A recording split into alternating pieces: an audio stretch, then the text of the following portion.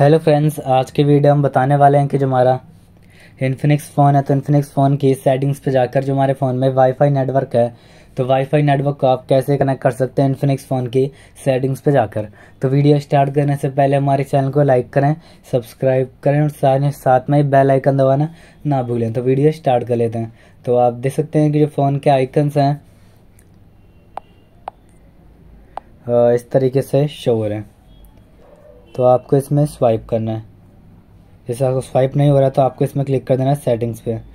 Click करते ही phone की सेटिंग्स ओपन हो जाएगी। तो जो हमारे फ़ोन में नेटवर्क है वाईफाई का तो हम उसको कैसे कनेक्ट कर सकते हैं? तो आपको इस पर क्लिक करना है।